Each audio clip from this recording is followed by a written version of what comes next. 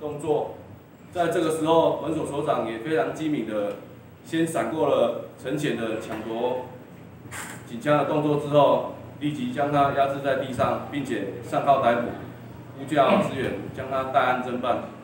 那在移送的过程当中，呃，本所发现该名陈姓嫌疑人，呃，前科累累，哦，不仅有多项前科，而且居无定所，目前的户籍地也是寄住在呃监狱当中，所以呃本分局在移送的过程当中，有向检察官哦陈明上述事实，啊，地检署检察官也非常的支持本分局的做法，并且将该名声押获准。以上。请问那个一般民众户籍可以设在监狱吗？呃，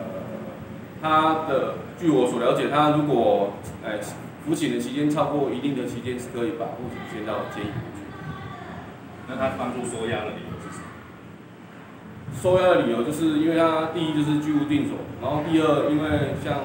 我刚所陈跟各位陈述，他因为发案累累，不仅有毒品，而且之前也有在诶、之前也有在其他单位有妨碍公务的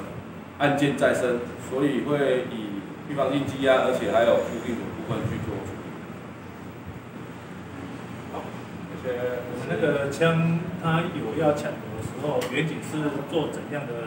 方式的闪避，不让他夺那个枪？呃，他是他可以比一下。因为他在盘查的过程当中，他是坐在摩那个机车上面，他没有下车，所以他的左手一往呃本所所长的呃腰际，哦去做呃伸举的动作的时候，本所所长马上一个侧身，先把那个腰际的配枪护住之后，再把他的手抓住，之后就是立即进行逮捕的动作，并且呼叫支援。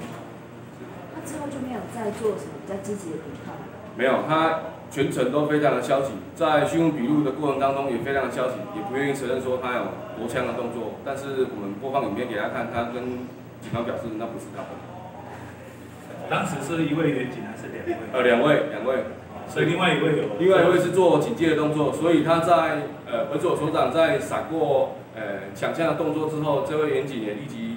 上居前去做压制的动作。谢谢。感谢感谢。